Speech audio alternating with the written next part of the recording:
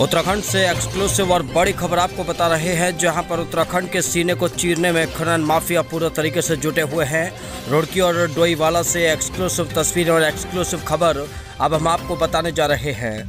डोईवाला में अवैध खनन की कवरेज करने में गई महिला पत्रकार पर खनन माफियाओं ने हमला कर दिया। वहीं अगर रुड़की क्षेत्र की बात की जाए तो यहाँ पर भी खनन माफिया पूरे तरीके से सरकार और प्रशासन को चुनौती देते हुए नज़र आ रहे हैं। अवैध खनन को बड़े स्तर पर अंजाम दिया जा रहा है। इसके अलावा करोड़ रुपए का जो चूना है, वो राज्य सरकार को लगाया जा रहा है। गाँव के बीच से ही जो खनन के डंपर हैं, उन्हें निकाला जा रहा है, जिसकी वजह से गाँव के लोगों को भी खतरा लगातार बना हुआ है। तो ये एक्सक्लूसिव तस्वीरें जो आप इस वक्त देख रहे हैं, ये रुड़की की तस्वीरें हैं। इसके अलावा जो अब हम आपको और तस्वीरें दिखाने जा रहे हैं, जिनका ज़िक्र आज इस खबर में हम करने जा रहे हैं, वो तमाम तस्वीरें डोईवाला की हैं। यानी पूरे उत्तराखंड में इस वक्त माफियाओं का बोलबाला है। उन माफियाओं की कारगुजारी पर ग्रामीण क्या कह रहे हैं, ये भी सुनना बेहद ज़रूरी है। जो है, घर बिल्कुल रोड से मिलता है। हमारे छोटे छोटे बच्चे हैं। वे कभी कभी 10-20 मिनट के बाद वे बाहर आते हैं। अगर कोई डंपर की चपेट में आ जाए, इसका जिम्मेदार कौन होगा, सर? और ये जो है ना, करीबन सारी रात ये जो है ना, आठ बजे से लेके सुबह सारी रात तक चलते हैं डंपर पूरी। रात पूरी रात जो है ना एक मिनट के लिए भी बंद नहीं होते। हम ये चाहते हैं ये दूसरा रास्ता चुना जाए इनके लिए। हमारा जो है ना छोटा सा परिवार है और इस पे जो है ना इस रोड पे छोटे से रोड पे पाँच छः घर लग रहे हैं। पाँच छः घरों में सब में छोटे छोटे बच्चे हैं। वे सब हर वक्त जो है ना सड़क पे आते रहते हैं। और भी। जो है ना उन्होंने तोड़ दिए रास्ते इस रोड पे जहाँ से ये मिट्टी उठा रहे हैं तीन रास्ते उनमें से तीनों में से एक ही चुना गया है। नमस्कार रैन भारत देख रहे हैं आप और आपके साथ मैं हूँ नकुल चतुर्वेदी। आज हमारे इस खास प्रोग्राम में हम बात करने जा रहे हैं उत्तराखंड की और उत्तराखंड में बेखौफ खनन माफियाओं की। आज हम आपको दो अलग अलग शहरों की दो तस्वीरें दिखाएँगे और इन दोनों तस्वीरों में हम आपको दिखाएँगे कि किस तरीके से खनन माफिया खुलेआम खनन कर रहे हैं, प्रशासन और सरकार की नाक के नीचे कर रहे हैं, गाँव वालों को परेशान करके कर रहे हैं, पत्रकारों को धमकी देकर कर रहे हैं। और इस वक्त मैं आपको सबसे पहली तस्वीर जो दिखाने जा रहा हूँ, वो है टोईवाला की, जहाँ पर एक अवैध खनन करने वाले माफिया के खिलाफ जब एन भारत की पत्रकार ज्योति यादव मौके पर कवरेज करने के लिए पहुँची तो उन पर हमला किया गया। और अब जो दूसरी तस्वीर मैं आपको दिखा रहा हूँ, ये रुड़की की है। रुड़की में भी लगातार खनन माफिया बेखौफ होकर खनन कर रहे हैं और यहाँ पर दिन में भी खनन हो रहा है, रात में भी खनन हो रहा है। और जानकारी तो यहाँ तक मिल रही है कि खनन माफिया को अभी तक डीएम कार्यालय से पूरी इजाज़त नहीं मिल पाई है, लेकिन उसके बावजूद भी जो पहाड़ है और पहाड़ों की छाती है, उसको चीरने का सिलसिला बहुत तेज़ी से चल रहा है। और इसी पूरी खबर पर बात करेंगे। हमारे साथ हमारे दो संवाददाता, रुड़की से सलमान मलिक सीधे लाइव जुड़ चुके हैं। इसके अलावा हमारे साथ टोईवाला से ज्योति यादव जुड़ चुकी है। सबसे पहले, सलमान मलिक, आपके पास आऊँगा। सलमान, हम देख रहे हैं इन तस्वीरों को हमने देखा, करीब से देखा किस तरीके से छाती को चीरने का काम किया जा रहा है। अब सवाल ये है कि किसकी शय में यह सब कुछ हो रहा है, सलमान? जी, बिल्कुल, नकुल, आपको बता दूँ कि पूरी तरीके से जो रुड़की क्षेत्र है, वो खनन माफियाओं के मकड़ जाल में इस वक्त देखा जा सकता है। कहीं ना कहीं रुड़की के तमाम कोने कोने क्षेत्र पर खनन माफिया अपना राज जमाए हुआ है। हालाँकि प्रशासनिक अधिकारियों को, की सह पर ही ये काम यहाँ पर किया जा रहा है। तो जो प्रशासनिक अधिकारी हैं, अगर स्थानीय लोग उनको शिकायत भी करते हैं तो कहीं ना कहीं प्रशासन के अधिकारी जो है, आँख मूंदे बैठे रहते हैं। वो मौके पर पहुँचते नहीं है तो कहीं ना कहीं ग्रामीणों को काफ़ी दिक्कतों का सामना करना पड़ता है। वहीं गाँव के बीचों बीच डंपर ले लेके जाते हैं खनन से भरे हुए हैं तो कहीं ना कहीं कई लोग पहले भी इसकी चपेट में आकर मौत की आगोश में सो चुके हैं लेकिन इसकी शिकायत लगातार आला अधिकारियों तक की भी की जा रही है लेकिन बावजूद इसके प्रशासनिक अधिकारी व पुलिस अधिकारी इस और ध्यान देने को तैयार नहीं है। हालाँकि मैं बात कर रहा हूँ इस वक्त रुड़की के जो है रुड़की के कलियर क्षेत्र की जिसका ज़िक्र आप इस वक्त कर रहे हैं। बेड़पुर गाँव है जहाँ पर बिल्कुल बेड़पुर गाँव की बात कर रहा हूँ, जहाँ पर ग्रामीणों की माने तो उनका कहना है कि 2000 घन मीटर की यहाँ पर जो है परमिशन हुई है, लेकिन उसके बावजूद यहाँ पर कई कई हज़ार घन मीटर के उठान यहाँ पर मिट्टी का किया गया है और गाँव के बीचों बीच से जो है बड़े बड़े वाहन वहाँ से गुजारे जा रहे हैं। हालाँकि गाँव के जो, ग्रामीण के जो बच्चे हैं, वो वहाँ पर सड़कों पर खेलते हैं तो कहीं ना कहीं उनको खतरा बना हुआ है कि कहीं कोई हादसा ना हो जाए, लेकिन प्रशासनिक अधिकारियों को इसकी जो है अप्लीकेशन भी दी है, लेकिन अधिकारी इस और ध्यान देने को तैयार नहीं है। हालाँकि बात और मैं आपको बताना चाहूँगा कि ये भी बताया गया है कि सूत्र के अनुसार कि एक ही जेसीबी की जो है परमिशन की गई है, लेकिन वहाँ पर दो दो जेसीबी लगाई जा रही, लगाई गई है। हालाँकि सूरज ढलने के बाद घर का कार्य पूरी तरीके से बंद कर दिया जाता है। लेकिन पूरी रात यहाँ पर जो है खनन का कारो काला कारोबार लगातार जारी है और प्रशासन और पुलिस पूरी तरीके से बेखबर बना हुआ है जिस तरीके से ग्रामीणों ने भी अपनी प्रतिक्रिया दी है इस पूरे मामले को लेकर आप लोगों को वो प्रतिक्रियाएँ भी दिखाना बेहद ज़रूरी हो जाता है। रुड़की के इन ग्रामीणों को सुनिए उसके बाद आपको लेकर चलेंगे डोईवाला जहाँ से हमारी संवाददाता ज्योति यादव हमारे साथ जुड़ी हुई है। ये क्या जा रहा है कि यहाँ जो रोड डली हुई आरसीसी रोड है इनके मारे जो गरीब लोग हैं इनके घर रोड पर लगे हुए हैं। और और भी रास्ते वहाँ को ये निकाल नहीं रहे। उसी रोड को निकाल ले, जिद कर रहे वो रोड सारी टूट गई। उनके बच्चे बाहर आ रहे और उनके बच्चे बाहर आने से उन्हें खतरा। उनके बच्चे छोटे छोटे बच्चे, भाग को बाहर निकलो। घर तो कब लग रोकोगी, माँ कब लग रोकोगी उनके बाप कब, घर थोड़ा ही बैठेंगे उन्हें रोकने के लिए। और रास्ते वहाँ को निकल नहीं रहे। परमिशन इनको 805 तक की पूरी पूरी रात डंपर चला रहे। तो ये नाजायज कर रहे हैं, ये हमारे लोग परेशान हो। कोई सुनने को तैयार नहीं है इनकी। रोड का नाश हो गया सारी रोड टूट गई। अच्छा, जैसे डीएम साहब के यहाँ गए हम। अभी अभी हम ना एस डी एम साहिब आ गए यहाँ भी सोच रहे जाने के लिए। लेकिन हम इसलिए नहीं गए कि जब डीएम साहब के यहाँ तहरीर गई वहाँ से कुछ नहीं आया तो फिर एस डी एम साहब के यहाँ भी नहीं गए। ज्योति, आप बताइए, किस तरीके के हालात वहाँ पर बने हुए हैं? किस तरीके से खनन माफिया वहाँ पर चुनौती देते हुए नज़र आ रहे हैं? आपके ऊपर खनन माफियाओं ने हमला भी किया और उसके बाद अब इस पूरे मामले में प्रशासन और पुलिस का क्या रवैया है, ज्योति? यहाँ पे पुलिस प्रशासन का ये रवैया है कि वो हमारी बात को इशू ले ही नहीं रहे हैं। एक्चुअल में उन लोगों को हमारी बात इतने हल्के में, क्योंकि सब मिले हुए हैं एक्चुअल में।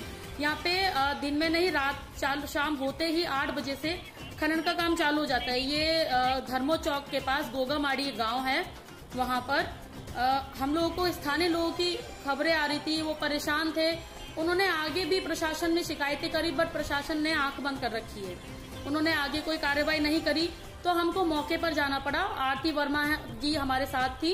और हम दोनों वहाँ गए तो देखा कि काफ़ी काफ़ी मात्रा में वहाँ पे आरबीएम निकाला जा रहा था। काफ़ी डंपर थे और जेसीपी थी लोडिंग गाड़ियों में आरबीएम काफ़ी मात्रा में निकाला जा रहा था।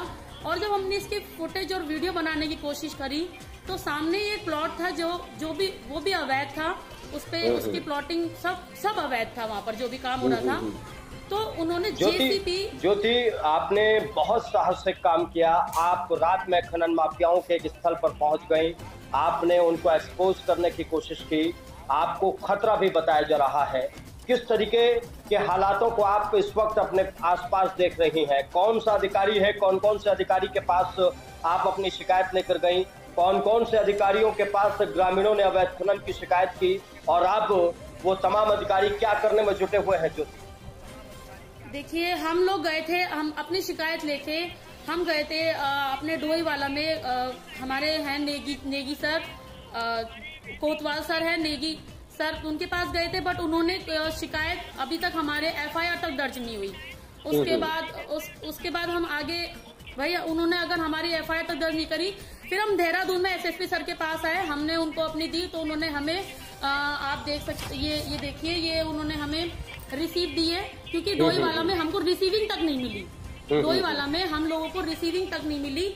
हमें मजबूरन होके अपने अपनी बात देहरादून में रखनी पड़ी एसएसपी सर को।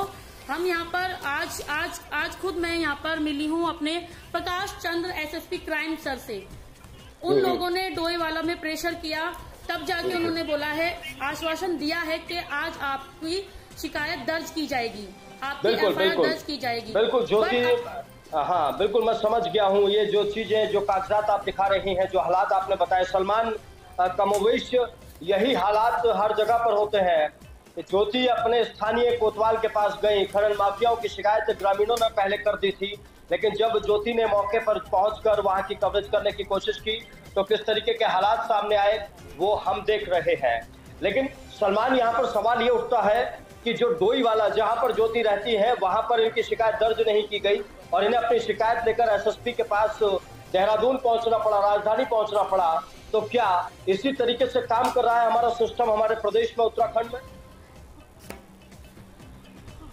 बिल्कुल बिल्कुल आपको बता दूँ कि कहीं ना कहीं जो खनन माफिया है, उनके जो संपर्क में है, जो क्षेत्रीय थाना है क्षेत्रीय पुलिस प्रशासन है, वो अपने संपर्क में लेकर उन पर काम करते हैं। तो कहीं ना कहीं जिस तरीके से पत्रकार पर हमला हो रहा है और पत्रकार स्थानीय प्रशासन पुलिस को फ़ोन करके उन्हें जानकारी भी दे रहा है, लेकिन पुलिस और प्रशासन मौके पर जाकर जो है जहमत नहीं उठा रहा है कि वहाँ पर कार्रवाई करे या वहाँ का निरीक्षण करे या वहाँ पर देखे कि आखिरकार किस तरह का कार्य वहाँ पर किया जा रहा है। लेकिन वो पूरी तरीके से बेखबर बना है तो कहीं ना कहीं बेखबर भी इसको नहीं कहा जा सकता है। तो कहीं ना कहीं अनजान बना हुआ है, क्योंकि जो पत्रकार है तो उत्तराखंड देवभूमि, जो देव देवों की भूमि है तो यहाँ पर कलम को कुचलने की पूरी तरीके से कोशिश की जा रही है, क्योंकि लगातार पहले भी पत्रकारों पर हमले हुए हैं और लगातार इसी तरीके से जो है हमले होते रहेंगे तो कहीं ना कहीं जो लोकतंत्र का चौथा स्तंभ है तो खतरे से कहीं ना कहीं खाली नहीं दिखाई दे रहा है। तो पूरी तरीके से कहा जा सकता है, जो पुलिस प्रशासन है, उनका ढीला यहाँ पर रवैया देखा जा सकता है और कहीं ना कहीं पुलिस व प्रशासन को समझना चाहिए कि जो वहाँ पर जिस तरीके से अवैध खनन किया जा रहा है, पत्रकारों पर हमला किया जा रहा है तो उन पर कार्रवाई होनी चाहिए और जो उच्च अधिकारी हैं वो अपने पुलिसकर्मियों को कहीं ना कहीं उनको हिदायत दें कि इस तरीके के कार्य ना हो क्षेत्र में और जो क्षेत्र की जनता है उनको किसी तरीके की मुसीबत का सामना ना करना पड़े। हम्म, हम्म। वही बात की जाए रुड़की क्षेत्र में तो रुड़की क्षेत्र में भी ग्रामीण क्षेत्रों में जो है खनन माफिया का पूरी तरीके से बोलबाला है। गाँव के बीचों बीच से नदियों का जो है बालू लेकर वो ट्रैक्टरों से निकलते हैं। तो ग्रामीणों की कई बार इस तरीके से चपेट में आने से मौत भी हो चुकी है लेकिन मौके पर जब ग्रामीण हंगामा करते हैं तो उस समय प्रशासन मौके पर पहुँचता है और आश्वासन देता है मुआवजे का जो है आश्वासन दिया जाता है और तमाम लोगों को जो है संतुष्ट करने की कोशिश की जाती है। लेकिन जब हाँ, मामला ठंडा हो जाता है तो फिर वैसे ही मामला जस का तस बन जाता है। जी देवभूमि को चीरने की कोशिश कर रहे होते हैं। जब ये खनन माफिया पत्रकारों पर हमले कर रहे होते हैं जब ये खनन माफिया ग्रामीणों को धमकी दे रहे होते हैं तब ना तो प्रशासन को कुछ समझ आता है ना सरकार को कुछ दिखाई देता है और पुलिस भी आँख मूंद कर बैठी रहती है।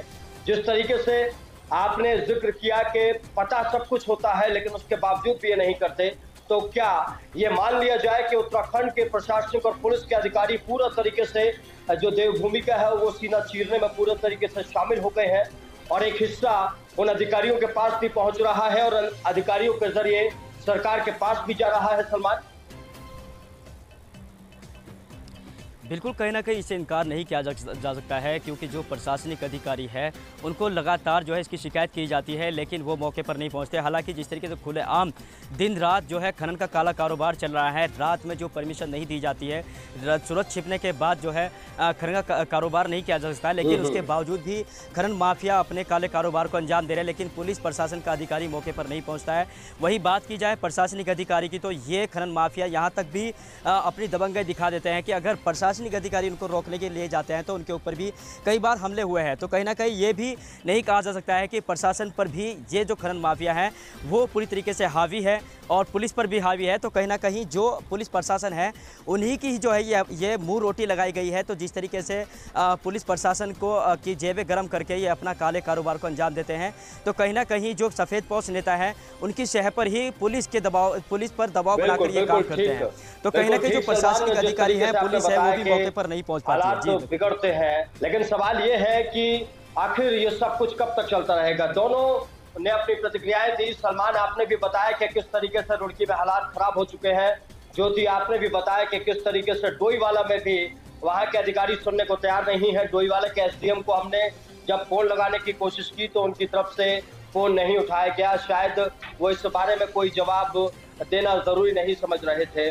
लेकिन ज्योति, अब आखिरी में मैं आपसे यही पूछना चाहूँगा कि आपको आश्वासन अभी क्या मिला है? अभी आपके साथ कौन कौन से घटनाक्रम घट रहे हैं? और क्या कुछ चल रहा है? सलमान आपका बहुत बहुत शुक्रिया हमारे साथ जुड़ने के लिए और इस पूरी खबर पर बात करने के लिए आपके पास फिर दोबारा लौटूँगा। अगले एपिसोड में दोबारा आपसे बात की जाएगी इन खनन माफियाओं को लेकर और जनता की समस्याओं को लेकर। ज्योति आप बताइए अब क्या चल रहा है? अब क्या सिचुएशन बनी हुई है इस पूरे मामले में? इस पूरे मामले में प्रशासन हमारी कोई मदद नहीं कर रहा है। हम लोगों ने जिस गाड़ी का नंबर दिया था, सफ़ेद रंग की Scorpio U K zero seven छप्पन ज़ीरो पाँच का नंबर जो हमने दिया था, जो मौके पर जिसने हमारी एक्टिवा को कुचलने की भी, टक्कर मारने की भी कोशिश करी। अभी तक एक हफ़्ते से ऊपर हो गया है, ये तीस तारीख का मामला था, तीस तारीख की रात का, बटा सात तारीख हो गई है। अभी तक प्रशासन ने इसको लेकर कोई कार्यवाही नहीं की है। जहाँ तक हमारे ऊपर से दबाव आ रहा है कि आप इस केस को वापस ले लीजिए या सेटलमेंट कर लीजिए। इस तरह के हमारे आगे इन्होंने रखे हैं आगे मुद्दे बढ़ाए हैं कि भाई इस, आप पीछे हट जाइए। हमको ऊपर से प्रेशर आ रहा है। हमारा आप देख लीजिए ना ये कि जब हमारा इन इन लोगों ने पुलिस प्रशासन ने हम लोगों की एफआईआर तक दर्ज नहीं करी है।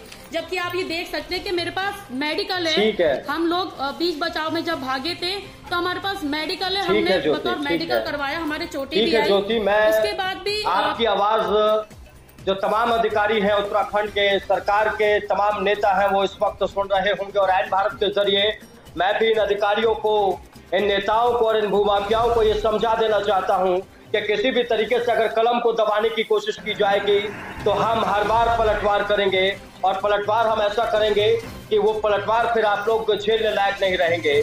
फ़िलहाल इस पूरे मामले में ये उम्मीद की जाती है कि महिला पत्रकार ज्योति यादव के लिए प्रशासन और पुलिस आगे आए और इस पूरे मामले में उन माफियाओं पर कार्रवाई की जाए। और ज्योति, अगली बार आपको ये ज़रूर ध्यान रखना है कि अगर वो कार आपको कहीं दिखाई देती है तो उसका वीडियो तुरंत बनाइए। रुकिए मत उसका पीछा करिए। बिल्कुल वो कार मुझे दो दिन दो दिन आप उसका पीछा करिए उस गाड़ी वो गाड़ी आपके पीछे नहीं आएगी वो उस गाड़ी का पीछा आपको करना है। और ये चेतावनी मैं एन भारत के ज़रिए उन माफियाओं को और उन अधिकारियों को दे देना चाहता हूँ जो चाहते हैं कि एक महिला पत्रकार को वो दबा लेंगे। फ़िलहाल ज्योति बहुत बहुत शुक्रिया हमारे साथ जुड़ने के लिए इससे पूरी खबर पर बात करने के लिए। लेकिन अब उत्तराखंड में इन खनन माफियाओं को मैं बता देना चाहता हूँ कि आप खनन कर रहे हो। सरकार ने जितनी इजाज़त दी है, उतना खनन करो।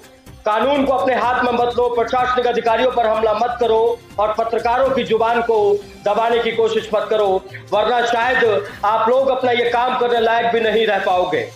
फ़िलहाल मेरे साथ ही, लेकिन आप देखते रहिए। एन भारत। जय हिंद।